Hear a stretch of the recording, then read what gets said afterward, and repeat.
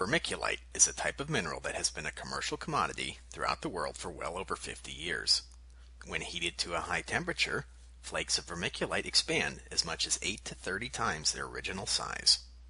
The expanded vermiculite is a lightweight, fire-resistant, and odorless material that has been used in numerous products, including insulation for attics and walls. A mine near Libby, Montana was the source of over 70% of all vermiculite sold in the United States from 1919 to 1990. Unfortunately, there was also a deposit of asbestos at the mine, so the vermiculite from Libby was contaminated with asbestos. Vermiculite from the mine near Libby was used in the majority of vermiculite insulation in the United States. If you have vermiculite insulation in your home, Asbestos testing services are available, and you should assume this material may be contaminated with asbestos.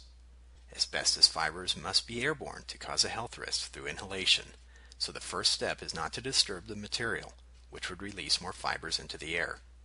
If you remove or disturb the insulation, it is probable that you may inhale some asbestos fibers. The degree of health risk depends on how much and how often this occurred.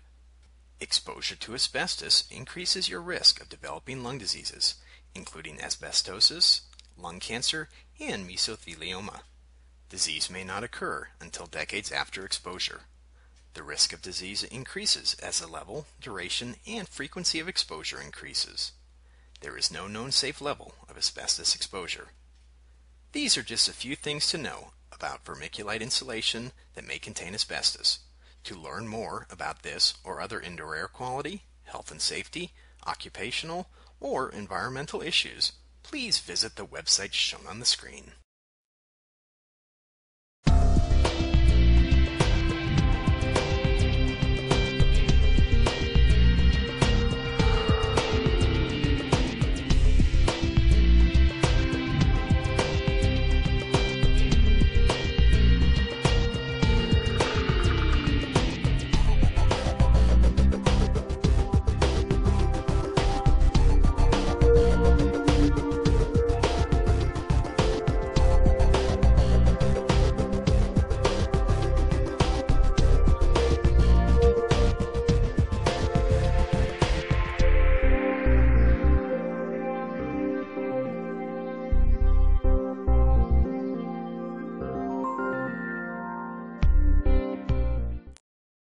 IAQ TV, the place to be.